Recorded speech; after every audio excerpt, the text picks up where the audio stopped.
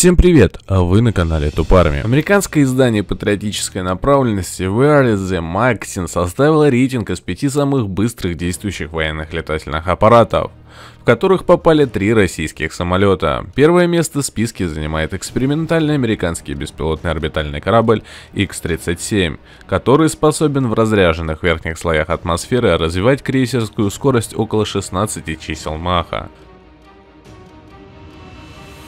Вторую позицию занимает советский истребитель-перехватчик МиГ-25 с крейсерской скоростью 2,8 числа Маха.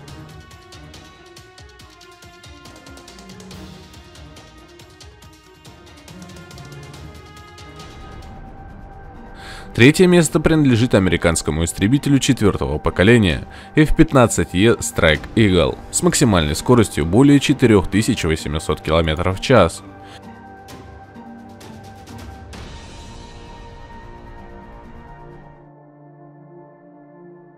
Четвертое – советский истребитель-перехватчик МиГ-31, максимальная скорость которого, как утверждает VRZ Майктин, составляет более 4800 км в час.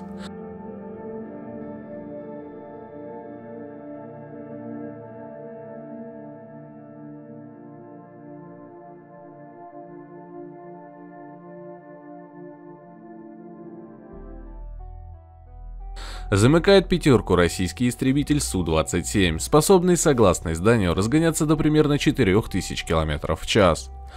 А на самом деле скорости F-15E максимальная скорость километров в час 200-655. Су-27 максимальная скорость до 2500 км в час. МиГ-31 3000 км в час.